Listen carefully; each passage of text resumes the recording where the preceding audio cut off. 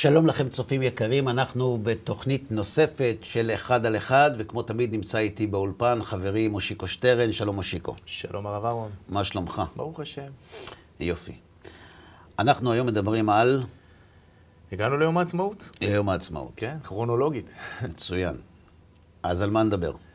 בוא נדבר על זה. בוא נדבר על יום העצמאות, היום המורכב הזה, היום המעניין הזה, היום החגיגי הזה לחלק נכבד בעם. היום שבו אני, כאדם יהודי מאמין, לא יכול לראות, שלא לראות את, ה, את הנס הגדול הזה שנקרא מדינת ישראל, בארץ ישראל. אה, ומאוד מעניין אותי לדעת את גישתך לעניין ואת הדרך שבה אה, אתה רואה את הדברים. אז בוא נגיד, לפני שאנחנו מתחילים, אה, יש עלינו כיהודים מאמינים חובה ואמרנו את זה יותר מפעם אחת, להתבונן בדברי הימים. שאל אביך ויגדך, זקניך ויאמרו לך. אנחנו צריכים להתבונן על האירועים שמתרחשים בעולם ולהתייחס אליהם. אנחנו לא יכולים להתעלם מהאירועים, כיוון שאנחנו אנשים מאמינים. כאנשים מאמינים שמאמינים שהקדוש ברוך הוא מצוי ומשגיח, היסוד הראשון שעליו אנחנו מבססים את הכל, זה שהקדוש ברוך הוא מנהל את העולם ומנהיג אותו. ולכן לא קורים בעולם דברים נגד רצון השם, או בלי שרצון השם מעורב בהם. Mm-hmm.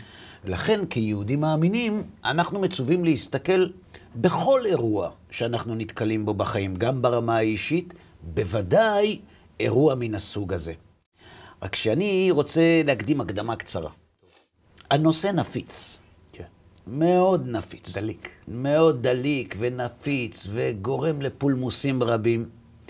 ולכן אנחנו לא נחווה דעה. אוקיי. כי אני לא יודע מה איתך, אני קטונתי. אבל אנחנו יכולים לנסות לזכור את הגישות השונות שיש לאירועים המשמעותיים האלה, כי כפי שנראה בהמשך, ללא ספק, לכל השיטות, האירוע הזה הוא אירוע משמעותי. האם הוא אירוע משמעותי מבחינה אדמיניסטרטיבית? האם הוא אירוע משמעותי מבחינה לאומית? האם הוא אירוע משמעותי מבחינה דתית? על זה יש ויכוח. אבל אי אפשר להתעלם מן האירוע הזה ולו מן הסיבה הפשוטה. מאז שנחרב בית המקדש, דבר כזה לא קרה. Mm-hmm. אז אם על חג החנוכה המתינו שנה, ולאחר הנס לשנה אחרת עשהו חג, אז אחרי 70 שנה, אני חושב שאנחנו יכולים להסתכל אחורנית על מה שקרה, ולנסות, לנסות להבין, לא להסביר לאחרים, לא לשכנע, לא אני אותך ולא אתה אותי, איזו גישה נכונה, אלא פשוט להציג את הגישות השונות, כי מהניסיון שלי, יש לא מעט אנשים שאצלם הכל שחור לבן ו... ולא מכירים את הגישות השונות ואת ההסברים שעומדים מאחורי הגישות האלה, ובדרך כלל ניכור ובורות מולידים קיטוב, ריחוק, ובמקרים אחרים גם שנאה. Okay. לכן... אז זו הסיבה, אגב, שרציתי לדבר איתך על זה היום, כי, כי אני חושב שזאת הזדמנות לקרב את הריחוק הזה. יש אפשרות כזאת, אתה יודע, יש אפשרות לראות את הדברים כמו שהם. לראות מה קרה פה בסדר הכרונולוגי שמאז הקמת המדינה ועד היום בכלל, לפני הקמת המדינה, כל התהליך של ביתנו ארצה והדרך שבה זה קרה, הכל מאוד מאוד מתכתב עם כל מה שאנחנו מכירים מהמקורות. נכון, אה, וזה רק מה שמקשה על הניתוח של הדברים, אבל אתה צריך לדעת שלכל גישה יש נימוקים אה, והסברים ותניא דמסייע להם, אה, ומקורות, שאם לא תשמע את הצד האחר, זה ברור לך שזה חד וחלק ככה. Mm-hmm. אבל אז אתה שומע גם צדדים אחרים. אז כמובן, כל אחד הולך על פי ההשקפה והדרך שהתווה לו מורו ורבו וכולי. בסדר גמור, אני לא נכנס לשאלה המעשית, איך אני צריך להסתכל על היום הזה או על, או על מדינת ישראל. יש לך רב, אתה לא צריך אותי, אני קטונתי. תשאל אותו, יגיד לך מה לעשות. מה שאני מנסה, ביחד איתך לעשות, זה לנסות לפתוח קצת את הדברים כדי להביט בהם כאילו מן הצד. אוקיי. Okay. אז יש בגדול שלוש גישות ביחס למושג מדינת ישראל. יש את הגישה המפורסמת של האדמו"ר הקדוש מסטמר, זכר צדיק לברכה. יש את הגישה של הצדיק, השרף, הרב קוק עליו השלום, ויש את הגישה של גדולי ישראל שמיוצגים עם הזרם שנקרא אגודת ישראל, שהוא גם משהו לא כך אה, תחום, אבל בגדול, הזרם החרדי המרכזי, כך, אם, אם נרצה לקרוא לו. אוקיי. Okay. עכשיו, יש כאן דבר מאוד מעניין. הגישות הכי קיצוניות, זו לזו, במובן מסוים, הן הכי קרובות זו לזו, לעומת הגישה האמצעית.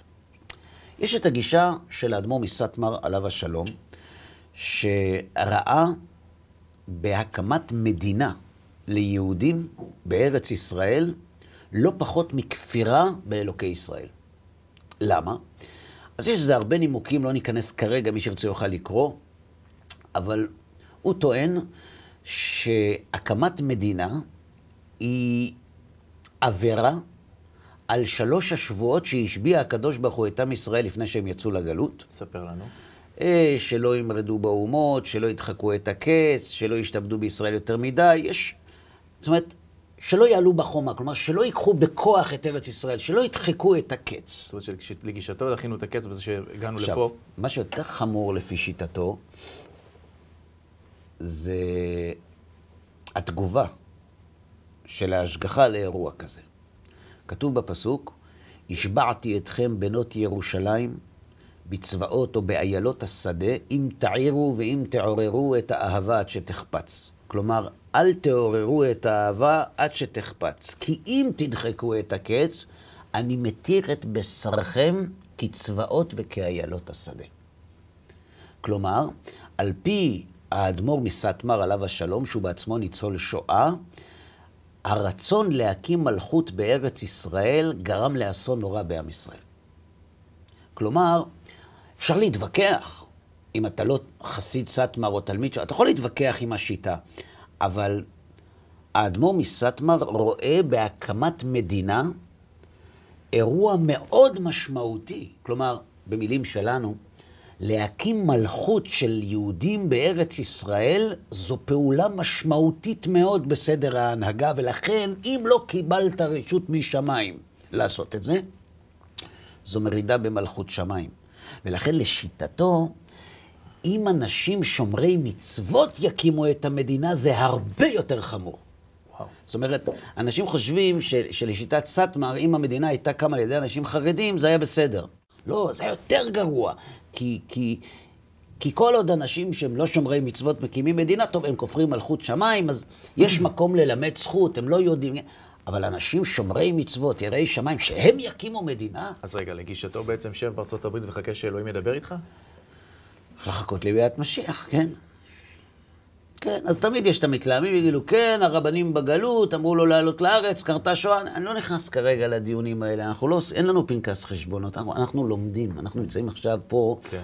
על כיסא של תלמידים. אנחנו לומדים את הדעות השונות. זו גישה אחת. אוקיי. עכשיו, מה שמעניין בגישה הזאת, שהאדמו"ר מסטמר לא רואה בהקמת מדינה איזה אירוע שולי. כי אם הוא היה אירוע שולי, הוא לא היה כפירה מלכות שמיים. זאת אומרת, אם אתה פותח חנות בלי שציוו אותך מהשמיים, או סוגר את החנות, או עובר דירה ממקום למקום, אין פה כפירה מלכות שמיים. כן, אני, לה... אני מבין את זה. להקים מקל... מלכות זה דבר גדול. אם הוא המקל בזה דעת, אז תעלו, תעשו מה שאתם רוצים, תבנו, לא תבנו. זאת אומרת, זה אירוע משמעותי, כן. מאוד משמעותי. שאלת אגב, אין פה סאטמרים בישראל? איפה? יש, יש בירושלים, יש, יש, יש חסידי סאטמר, בוודאי שיש, אבל הם... הם מנותקים מהמדינה, הם מנותקים ממוסדות המדינה ומתקציבי המדינה מסיבות אידיאולוגיות. זאת אומרת, לא לוקחים חלק. לא בבחירות, לא ביטוח לאומי, לא שום דבר. לא, לא, אין להם שום קשר למדינה הציונית. למה? כי המדינה הזאת היא כפירה מלכות שמיים. למה? כי היא קוראת תיגר על שלושת השבועות, ו, ו, ו, ולשיטתם, החומרה של החטא הזה היא כל כך גדולה, שמי יודע ידי מי שפכו את הדם הזה. זו שיטתם. אוקיי. Okay. יש את השיטה השנייה של הגאון צדיק הרב קוק, עליו השלום. הוא במובן מסוים אומר את אותו דבר. הוא אומר, מדינה זה לא אירוע שולי. מדינה זו חוליה משמעותית בדרך לגאולה, זו התחלתא דגאולה. כלומר, אנחנו כבר לא בסוף הגלות, אנחנו, כבר האור מתחיל להאיר. המלכות חוזרת לעם ישראל, כלומר, העצמות היבשות שראה יחזקאל בחזונו, כיצד הן קורמות עור וגידים, כפי שכותב שם המלבים, זו התחייה הלאומית של העם היהודי בארץ ישראל. ומהי תחייה לאומית? יותר גדולה מהקמת מדינה, שהרי מדינה היא סופר-לאומית. כלומר, היא למעשה החיים הכלליים של האומה. בגלות היינו יהודים, היו קהילות פה, היו קהילות שם, שמרנו, מסרו את הנפש, הכל, אבל לא הייתה מסגרת לאומית. כלומר, היו כאן איברים מדולדלים, לא היה כאן, לא היה כאן גוף אחד. ומדינה זה יציקת תוכן לגוף הלאומי, שזה סוג של תחייה, של התנערי מעפר קומי. ומה לגבי ההנהגה? וכיוון שמדינה זה דבר כל כך גדול שמבשר את הגאולה, זה כל כך חשוב ונעלה, שגם אם יקימו אותו אנשים שלא שומרים מצוות, חבל. צריך לתקן, הרב קוק מאוד כאב לו שיהודים לא שומרים מצוות. צריך לתקן, אבל, אבל, אבל מה שהם עושים הוא כל כך גדול, שבאור של מה שהם מקימים צריך, אבל זה לא החשבון עכשיו. אנחנו עוסקים בדבר גדול מאוד. זאת אומרת, גם הרב קוק עליו השלום, וגם הרבי מסטמר עליו השלום, שניהם ראו במלכות ישראל, בארץ ישראל, דבר גדול. המסקנות שלהם היו הפוכות. בסדר? אוקיי. אלו שתי גישות. אוקיי. זה מתנגד להקמת מלכות, ועוד יותר אם חרדים יקימו אותה, וזה מצד שני, מה זה וזה? והגאון השני מצד שני אומר, הקמת מלכות היא כל כך גדולה שהיה רצוי, אבל אנחנו לא נמצאים, אנחנו נמצאים, שתקום, אחר כך נראה. יש את הגישה שבאמצע. היא לא מפשרת בין שתי הגישות, היא אחרת. זאת אומרת, זה לא זה קיצוני לפה, זה קיצוני לפה, אנחנו במיינסטרים. היא לא הממוצע ביניהם. היא לא ממוצע, כן. היא שונה. כן. למה היא עומדת בתווך? כי היא רואה את הקמת המדינה בעין שונה לחלוטין. כלומר, בעוד הרב קוק והאדמו"ר מסטמר ראו בהקמת מדינה משהו ערכי, אידיאולוגי, לאומי, מלכות, גדולי ישראל, שמזוהים עם הזרם החרדי המרכזי, הליטאי, הפחות החסידי, זאת אומרת, הם הגדירו את מדינת ישראל אה, ועד בית. זאת אומרת, אנחנו לא רואים בלאומיות שום דבר קדוש, אנחנו לא רואים בזה אה, עבירה על שלוש השבועות, ואנחנו גם לא רואים בזה התחלתא דגאולה. כשאנשים גרים בבניין, ככל שיש בו יותר דיירים, הבניין זקוק לניהול. ולכן צריך לנהל את היהודים. אז יש מדינה. המסגרת של המדינה זה ועד הבית של האומה היהודית. וככה צריך להתייחס אליו. אנחנו לא מתעסקים כאן באידיאולוגיות, בהתחלתא דגאולה, או בזה, צריך לקחת את זה. אגב, ההתנגדות של, של הרבי מסטמר ל, ל, לאנשים שייצגו את הגישה הזאת, הייתה חריפה לא פחות, ולפעמים אפילו גם יותר, מאשר הגישה שלהם לציונים עצמם. זאת אומרת, כן? כן. וזה על, על פי אותו עיקרון שדיברנו עליו. כן. למרות שהם לא ראו בזה דבר גדול. אז אלו הם שלושת הגישות. לפי הגישה האמצעית, מאוד רצוי שבוועד הבית יעמוד מישהו שפועל על פי ההלכה. כי, כי אם הוא יחליט החלטות שיחייבו את ועד הבית והם בניגוד להלכה, זה מייצר קונפליקט אצל השכן הדתי. כן. אז לכן זה רצוי שזה יהיה ככה, וזה נקרא להציל מן הארי. כלומר, אנחנו נעשה, אנחנו נשתתף בבחירות, אנחנו חלק מהמדינה, אנחנו מכירים בקיומה, אנחנו לא סוגרים את העיניים. אה, ואנחנו ניתן את מה שאנחנו צריכים, נקבל את מה שאנחנו צריכים במסגרת המדינה, ו... ונחיה עד שיבוא משיח, ו... ויבוא תשבי ויתרץ קושיות ויהי בעיות. במילים אחרות סטטוס קוו. נכון, סטטוס קוו שמקובל גם על הזרם אה, החרדי וגם על הזרם הדתי-לאומי, שרצו לראות ב, ב, במדינה משהו עם פרהסיה יהודית לפחות, או לשמר את מה שאפשר. אלה הם פחות או יותר, בגדול, הגישות השונות. אוקיי. Okay. אז את הגישות הבנתי, ועכשיו אני אשאל אותך שאלה. קח את כל הגישות האלה יחד, שים אותם רגע בצד, תסתכל על המהלכים שקרו פה. לכתחילה. רגע שהגענו, כמו שאמרתי עוד לפני שהגענו, כי הכל היה נורא מוסדר בצורה מדהימה אל מול הנבואות, עד לרגע זה. כן. ואז מה מגיבים אותם האנשים שנוגדים את הדעה שאנחנו כאן uh, כתחילתה של המלכות, התחלת הגאולה או כל דבר אחר? Uh, לפי שיטת סאטמר, מדובר בניסיון, בניסיון הכי גדול ערב הגאולה. בניסיון של הסיטרא אחרא, של כוחות הטומאה, לשבש את האמונה הצרופה של היהודים המאמינים. זו טענתם. מצד שני, עומדים אה, מנגד ואומרים, איך אפשר לומר דבר כזה? הרי אנחנו רואים בעיניים איך הקדוש ברוך הוא מחזיר את עם ישראל לארץ ישראל. אז לפני שהמדינה קמה, עוד היה אפשר להגיד אולי זה מעשה שטן, אולי... אבל המדינה קמה, היא כבר קיימת פה 70 שנה, וברוך השם, היא, השם שומר עליה, והיא מתקיימת, ו- ו- והכותל שוחרר, והמקומות הקדושים, ומלחמת ששת הימים והכל, אז, אז, אז מה, זאת אומרת... איזה מעשה שטן יש כאן? גם אם אני לא משתמש במילה מדינה, גם אם תקרא לזה ועד הבית, גם אם תקרא לזה הנהלת, הנהלת ארץ ישראל. בכל מציאות שאתה מסתכל על זה, אתה באמת רואה התגשמות נבואות. אתה רואה פה משהו שלא היה פה מעולם. אז עכשיו אתה לוקח אותנו למקום אחר. אתה אומר, בוא נסתכל בתורה. מה היא אומרת על התקופה הזאת? כי הרי אנחנו יודעים שהתורה מדברת על העתיד. נכון. לו חכמו, כתוב, ישכילו זאת, יבינו לאחריתם. כתוב בתרגום יונתן בן עוזיאל, לו אהבו חכימין, אבון מסתכלים באורייתא ויודעים מה עתיד למהווה בסופהון. זאת אומרת, אם היו חכמים, הם מסתכלים בתורה, והיו יודעים מה איתם בסוף. אז כשאנחנו עוסקים בנבואות, אנחנו אומרים, רגע, יש בתורה נבואות, הבטחות על העתיד. הסכמנו שהקמת מדינת ישראל היא לא אירוע שולי, אפילו לפי השיטה שרואה במדינת ישראל ועד בית. אומרת, מדובר פה באירוע דרמטי שלא היה דוגמתו בעבר. אתה יודע מתי הוא היה פעם אחרונה? מניח שבית אה, שני. הוא היה למחצה ולרבייה. כשעזרא הסופר עלה מבבל לבנות את בית שני, עלו איתו 42 וחצי אלף איש. כולה. אגב, מי עלה איתו אז? מי? לא... לא החכמים והסופרים. Mm. עלו איתו, תסתכל, כתוב, מי עלה איתו נישואים לגויות. זאת אומרת, לא...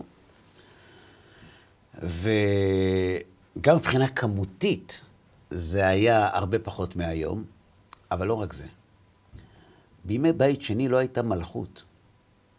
היינו תחת הפרסים, נכון. היינו תחת היוונים, היה זמן קצר של מלכות חשמונאים, נכון. שנטלו לעצמם מלכות, ולכן כתוב, איבדו, אה, איבדו אותה. ואז אה, אורקנוס ואריסטובולוס הביאו לכאן את הרומאים, וככה שרדנו. זאת אומרת, המושג מדינה יהודית, המושג הזה לא היה, היה תקופה של בר כוכבא, אבל לא היה דבר כזה.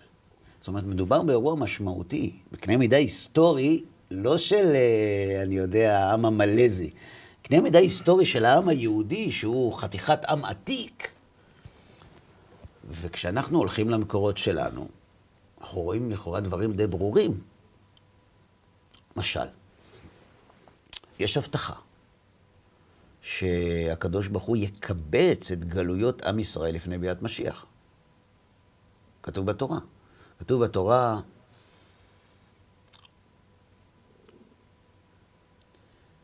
ושב השם אלוהיך את שבותך וריחמך. ושב וקיבצך מכל העמים אשר הפיצך השם אלוהיך שמה. אם יהיה נידחך בקצה השמיים, משם יקבצך השם אלוהיך ומשם ייקחך. אם אנחנו רוצים לתרגם את זה לשתי מילים, מה נגיד? קיבוץ גלויות. קיבוץ גלויות. בדיוק. מחלף. מה השלב הבא? אז כמו שאתה יודע, היה דיון מאוד רציני להקים את מדינת ישראל בקניה, או... Mm-hmm. היו הרבה דיונים. הגרמנים דיברו על מדגסקר, היו שדיברו על רוסיה, היו שדיברו על ארגנטינה, על ארגנטינה מקסיקו, כל מיני מקומות שחשבו למצוא בשבילנו, אבל לאף אחד לא היה מספיק מקום. ובסוף, אחרי ויכוח אדיר בקונגרס הציוני ואחרי פולמוס גדול, נסגר שזה יהיה כאן.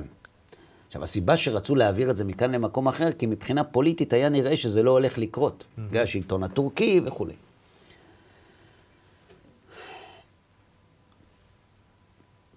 מה כתוב אחרי קיבוץ הגלויות? והביאך השם אלוהיך אל הארץ אשר ירשו אבותיך. יפה. ברור לנו לאיזה מקום. וירשת, והיטיבך, וירבך מאבותיך. כלומר, אתה תחזור לא לשום מקום אלא לפה, ותרבה פה מבחינה דמוגרפית, ויהיה לך טוב יותר מאשר להורים שלך. כלומר, כתוב במפורש בתורה, שאחרי הגלות הארוכה, הקדוש ברוך הוא יקבץ הגלויות לארץ אבותינו. אגב, זה כתוב בעוד מקום. זה כתוב גם בספר יחזקאל, פרק ל"ו. הסדר הוא אותו סדר, והמינוחים כמעט זהים. מה אמרנו השלב הראשון בתוכנית של אה, פרשת וילך? קיבוץ גלויות. ולקחתי אתכם מכל הגויים, וקיבצתי אתכם מכל הארצות. שזה ממש דומה, mm-hmm. ושב השם אלוהיך את שפוטך ורחמך ושב וקיבצך מכל העמים. מה אמרנו השלב השני בפרשת וילך? והביאך השם אלוהיך אל הארץ, שיבת ציון. והבאתי אתכם אל אדמתכם. זאת אומרת, בספר יחזקאל, התהליך של קיבוץ הגלויות מצד אחד, והביאה אל הארץ מצד שני, באים בסדר בדיוק כמו בתורה. ואז מגיע שלב שלישי. סליחה, רק מה ההבדל בין קיבוץ הגלויות לבין להגיע לארץ? זה לא אותו דבר? אז זהו. אז אם היינו מדברים לפני 500 שנה, קיבוץ גלויות, פשוט זה לארץ ישראל, אבל במבט לאחור, אנחנו רואים שהיו הרהורים לגבי... איפה? היעד. אוקיי. יעד ההגירה. היו הרהורים. אז לא, לא, אל תחשוב פעמיים, זה יהיה לפה. כלומר, זה היה יכול להיות אחרת, אבל זה יהיה לפה. בסדר? יש. ויש שלב שלישי, שלא נדבר עליו עכשיו, שלא יפחיד אף אחד. קוראים לזה חזרה בתשובה, אבל נשאיר, אנחנו לא, אנחנו לא נמצאים שם עכשיו. כתוב. מה כתוב אחרי והבאתי אתכם אל אדמתכם ביחזקאל? מה כתוב אחרי והיטיבך וירבך מאבותיך בפרשת וילך? זה התחיל בתורה. Mm-hmm. ומל השם אלוהיך את לבבך ואת לבב זרעך, ואתה תשוב ושמעת בקול השם אלוהיך. כי תדרשנו בכל לבבך ובכל נפשך. זאת אומרת, יהיה קיבוץ גלויות, תהיה שיבת ציון, אחרי זה יחזרו בתשובה. למה אחרי זה? כי לפני זה לא. ביחזקאל כתוב אותו דבר במילים אחרות. אחרי שכתוב, ולקחתי אתכם מכל הגויים, וקיבצתי אתכם מכל הארצות, והבאתי אתכם אל אדמתכם, שלב שלישי. וזרקתי עליכם מים טהורים, וטהרתם מכל טומאותיכם ומכל גילוליכם אתאר אתכם, והסירותי לב האבן מבשרכם, ונתתי לכם לב בשר, ועשיתי, הוא, את אשר בחוקיי תלך ומשפטיי תשמעו. מה שמדהים הוא שבשני המצבים, זה הקדוש ברוך הוא עושה לנו את נכון, התהליך הזה. נכון. קיבוץ הגלויות, שיבת ציון, וחזרה בתשובה. אנחנו רואים את זה גם בספר, וגם בספר דברים, וגם בספר יחזקאל. אם נרצה להתמקד עוד יותר, איך זה יקרה? זאת אומרת, איך התהליך הזה יקרה? אנחנו היום יודעים לומר שהקמת המדינה התאפשרה הודות לארגון מאוד צעיר, שהיה בסך הכל בין שנתיים ופחות, שאפשר את החלוקה, מה שגרם. להקמת המדינה, הכרזת העצמאות, וקוראים לו האו"ם, ארגון האומות המאוחדות. ארגון האומות המאוחדות הוא גלגול עם קצת יותר שיניים חלביות ממה שהיה לחבר הלאומים שהוקם אחרי מלחמת העולם הראשונה. נכון. הוא הוקם בסוף 45, תחילת 46. ההחלטה על החלוקה, גם כן, אם אתה מסתכל, אתה רואה בזה תלוי בגישה, או השגחה או מעשה שטן. זאת אומרת, זה לא דבר טבעי. לא היה רוב. לא היה רוב בעד החלוקה. דוד הורוביץ היה חבר משלחת הסוכנות היהודית, אומר, אנשים שהבטיחו לנו לתמוך, לפתע הוא כותב, הבליטו בנאומים את הצדדים השליליים של פתרון זה, הוא כותב, ואנחנו ישבנו כפופים. ואז התחילו לחפש מישהו שמכיר את נשיא גואטמלה ומישהו זה, ו... ומה הכי מפליא? הכי מפליא זה שהנציג הרוסי של ברית המועצות, אנדרי גרומיקו, שהקשר של הקומוניזם עם הציונות לא היה... לא היה יאי. עמד והרביץ מוסר בחברי האומות המאוחדות על זה שהם לא הצליחו לשמור על העם היהודי באירופה, ולכן צריך לתת ליהודים מדינה. ומי התנגד? האמריקאים, החברים הכי טובים שלנו. שהיום אנחנו יודעים שאהבה גדולה לעם היהודי לא הייתה ב State Department. היום, אחרי 70 שנה, כש, כש, כש, כשמסמכים נפתחים, מתגלה דבר מדהים.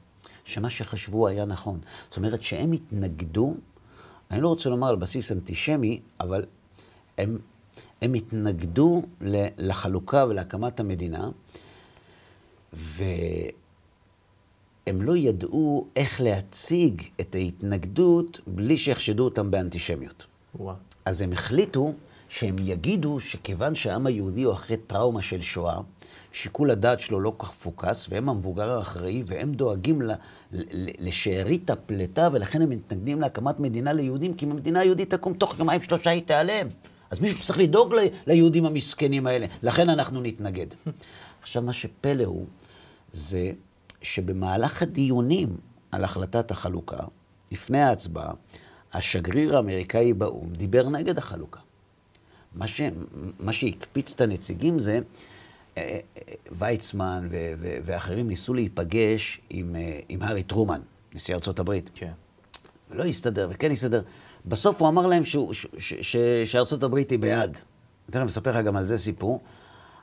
אז הם מגיעים לעצרת עם הידיעה שהאמריקאים בעד, והם שומעים את השגריר האמריקאי ממשיך לדבר נגד. זאת אומרת, או שעבדו עלינו, או, שא, או שהקו של האינטרנט לא מספיק מהיר, והוא עוד לא קיבל את העדכון לשנות פאזה.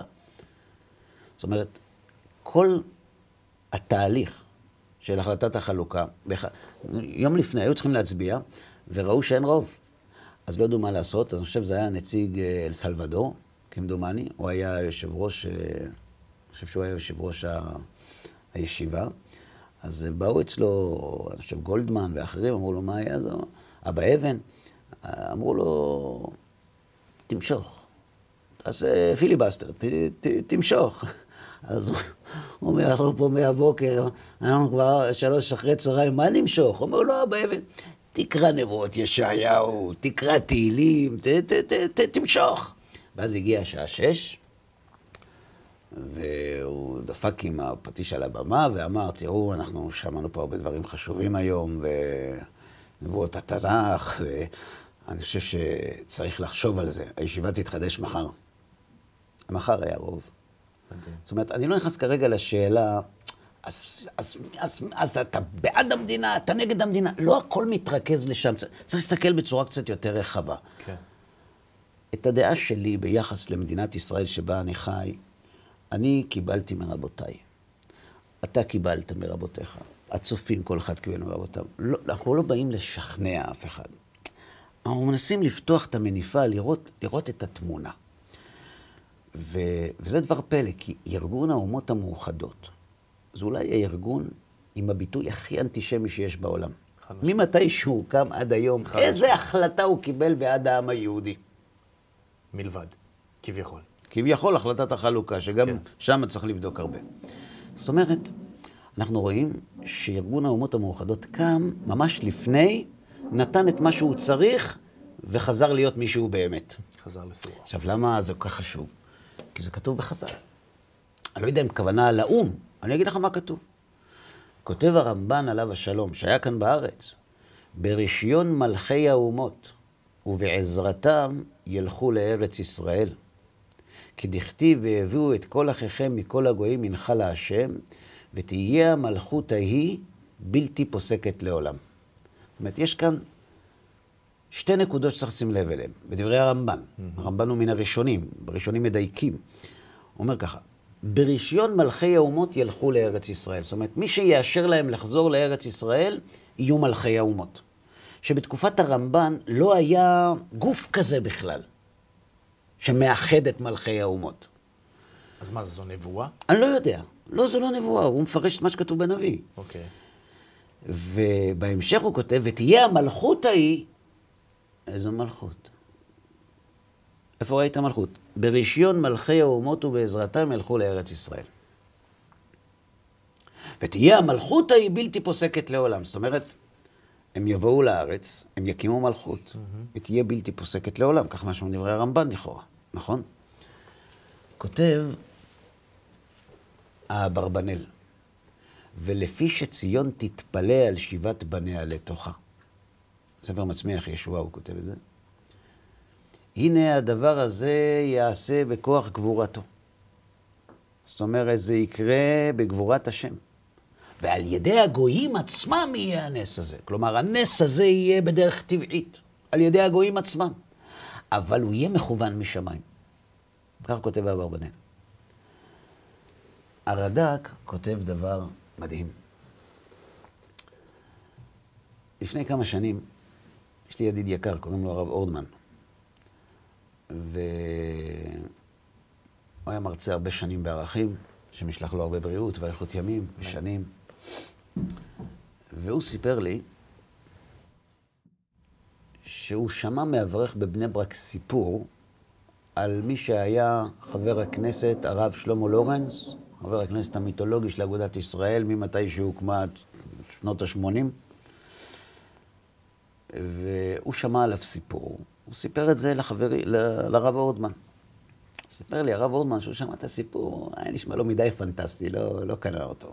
הוא אנגלוסקסי, הרב אורדמן, הוא קצת מכיר אה, נפשות פועלות, איפה שתשמע את הסיפור תכף. אז הוא לא חשב פעמיים, הלך לרב לורנס. אמר לו, שמע, אני שמעתי עליך סיפור כזה וכזה וכזה, זה נכון? הוא אומר לו, בשביל מה אתה שואל אותי אם זה נכון? תלך לכנסת, תחפש שם בכנסת את, אה, את הנאום שנתתי בתאריך זה וזה בשנת 52, ותראה שם את הכל. מה היה הסיפור?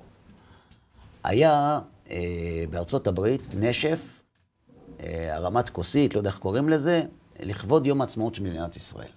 אוקיי. והגיעו נציגים של הפרלמנט הישראלי. חלק מהנציגים היה הרב שלמה לורנס, זכר צדיק לברכה, שהוא היה אה, אה, אדם, גם תלמיד חכם, גם חכם וגם בעל הדרת פנים. והוא גם הגיע לשם, לא יודע אם הוא היה שם, הגיע לשם, הוא היה שם. והיה שם ארי טרומן, נשיא ארצות הברית. וכשארי טרומן ראה את הרב לורנס, הוא שאל מי זה. הוא היה בולט. אז אמרו לו, זה חבר כנסת של האורתודוקסים ב... בכנסת ב... ישראל. בישראל. תקראו לו. לוקח אותו טרומן לצד, ואומר לו, אני רוצה לספר לך סיפור, שאתה אולי האיש היחיד פה בכל האולם שיבין לעומקו למה אני מתכוון. וככה הוא מספר לו. כל ילד אמריקאי יש לו חלום. ולכל הילדים האמריקאים יש את אותו חלום. מה החלום של כל הילדים האמריקאים? להיות מפורסמים. נשיא ארצות הברית. אוקיי. נכון? אם הם נולדו שם. כן. הם נשיא ארצות הברית. גם לי היה חלום כזה. אבל אני הייתי גם ילד נוצרי קתולי, אדוק. ולכן כל יום ראשון הייתי הולך לכנסייה. בכנסייה הכומר היה מלמד אותנו תנ"ך. כל ילד, כבוד הרב, הוא אומר לו, כל ילד שלומד תנ"ך, יש לו איזו דמות בתנ"ך שהיא ההשראה שלו, שהיא המודל שלו. תנחש, כבוד הרב, מי היה, איזו דמות הייתה ההשראה שלי? אז הרב לורנס ניסה, אמר, דוד המלך, אה, שלמה, שמשון הגיבור. אמר לו, לא. כורש. כורש. מי זה כורש? אומר לו, כורש, הוא היה מלך פרס, שנתן ליהודים אישור לשוב לארץ שלהם ולבנות את הבית שלהם שהבבלים החריבו. וזה כל כך הרשים אותי, שהמלך החזק והגדול הזה מחזיר את היהודים, את עם התנ"ך, לארץ ישראל. אמרתי לעצמי, אם יום אחד החלום שלי יתגשם ואני אהיה נשיא ארצות הברית, אני אחזיר את היהודים לארץ ישראל. וואו. הוא סיפר לו. טוב, סיפור יפה. מאוד. ואז הוא אומר, הגיע השלב שצריך להצביע על החלטת החלוקה באו"ם. ואתה יודע שנשיא לא יכול להיות לעומתי לכל שדרת הפקידות של משרד החוץ שלו, ואתה יודע מה חושבים במשרד החוץ על ההחלטה הזאת. אתה יודע מה גרם לי לשנות את הדעה שלי? מה גרם לי לעמוד מול כולם ולהגיד, תצביעו בעד? נזכרתי במה שהבטחתי כשהייתי ילד. לא הבינו מה קרה לי, אבל זה מה שהחלטתי וזה מה שקרה בסוף. אתה יודע למה? משתי סיבות. א', כי זכרתי מה הבטחתי בתור ילד שאני אעשה אם יום אחד אני נשיא ארצות הברית, והבטחות צריך לקיים. דבר שני, הוא אמר לו, אני הנשיא הראשון שהרג בפצצה אחת מאות אלפי אנשים. אני הבאתי חורבן לעולם. אני יצרתי תקדים של חורבן בעולם. אני אחזיר לארץ את העם שתרם לעולם בניין. ולכן הוריתי להצביע בעד. ככה הוא סיפר לרב לורנס. כשהרב לורנס חזר לארץ, הוא סיפר את זה לבן גוריון. אז בן גוריון אמר לו, באמת ככה הוא אמר, תעלה בבקשה לדוכן ותספר את זה לכולם. וסיפר? כן, ולכן זה מופיע בנאום, אה, זה בטח. בפרוטוקול של הכנסת. יפה. כן. כותב הרד"ק, נו, וזה לא שינה את דעתו ודעת מפלגתו? דבר כזה? אה, אתה צריך להבין שהגישה לא משתנה בעקבות אירוע.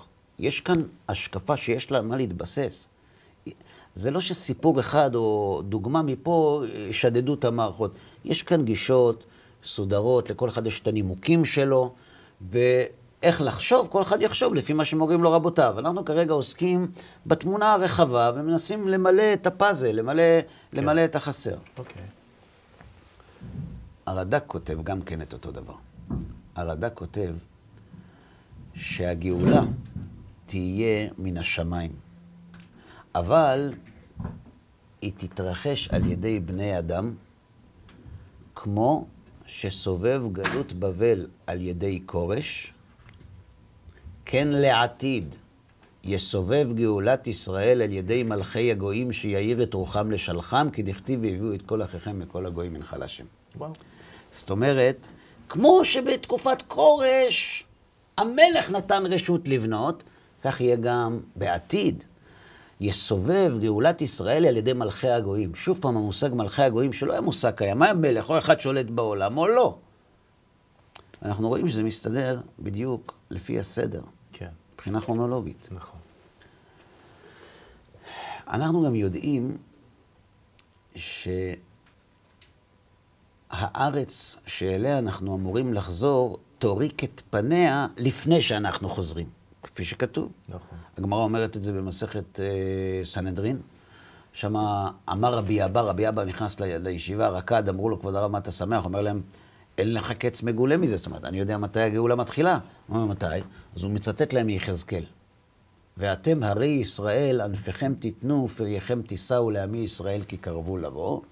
כי הנני עליכם ופניתי עליכם ונעבדתם ונזרעתם והרביתי עליכם אדם כל בית ישראל כולו ונושבו ההרים והחורבות תיבננה. אתה מבין פה את הקץ? גם הם לא הבינו.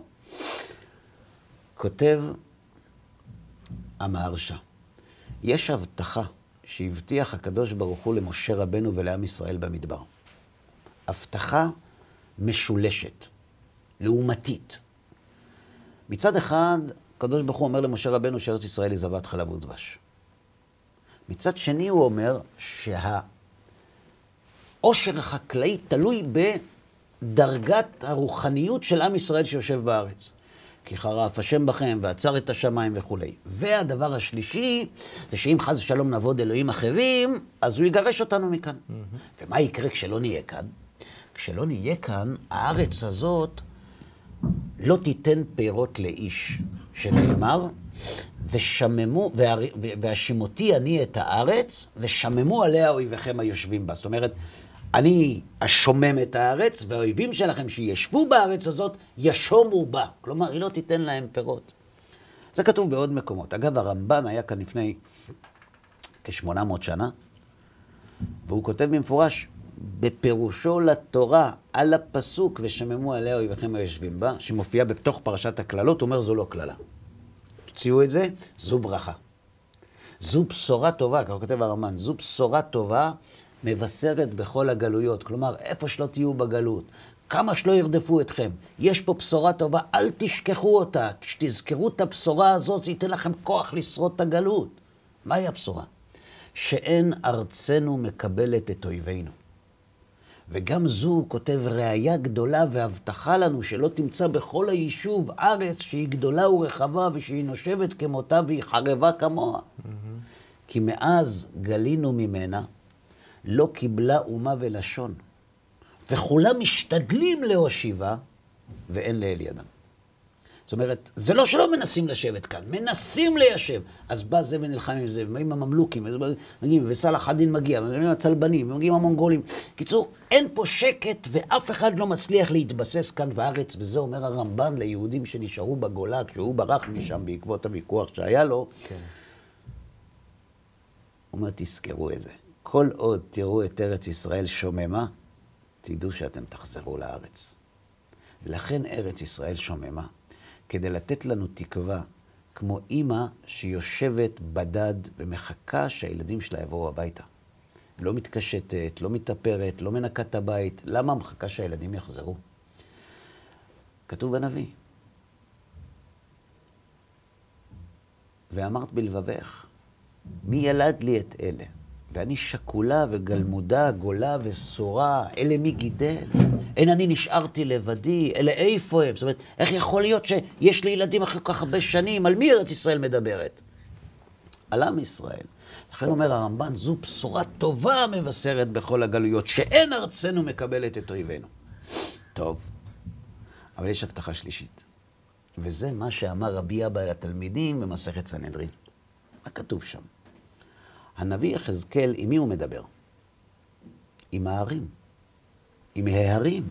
ואתם הרי ישראל, ענפיכם תיתנו. למה צריך לצוות עליהם? כי מישהו אמר להם לא לתת. Mm-hmm. ופרייכם תישאו. למה? לעמי ישראל כי קרבו לבוא. נלך הביתה, תקשט. כי הנני עליכם. שים לב לסדר. ופניתי עליכם, ונעבדתם, ונזרעתם, הוא אומר להרים, נכון? ונאבדתם, ונזרעתם, והרביתי עליכם אדם כל בית ישראל כולו. ונושבו הערים והחורבות יבננה. זאת אומרת, התהליך יהיה, קודם כל, פריחת השממה, חקלאות, לאחר מכן עם ישראל יחזור. כותב המהרש"א, כל זמן שאין ישראל על אדמתם, אין הארץ נותנת פירותיה כדרכה. כמו שלמדנו. כל זמן שהוא לא פה, מה זה כדרכה? דרכה כן לתת, לא נותנת פירותיה. למה הם לא פה? אבל, לשון המרשה, כשתחזור ליתן פירותיה, זהו קץ מגולה, שקרוב לבוא זמן גאולה, שיחזרו ישראל על אדמתם. אומרת, כל זמן שהארץ לא נותנת פירות, זה ככה הטבע שלה. כי עם ישראל לא פה. כל זמן שאין ישראל על אדמתם, אין הארץ נותן פירות יגדה. אבל אם תקום יום אחד בבוקר עם דברי הרמב"ן ותשמח שהארץ שוממה וזו התקווה שלך, ופתאום תראה שהיא מתחילה לתת פירות ותפוזים ותפוחים, ותגיד, מה? עזבה אותנו. לא, תשמח עוד יותר.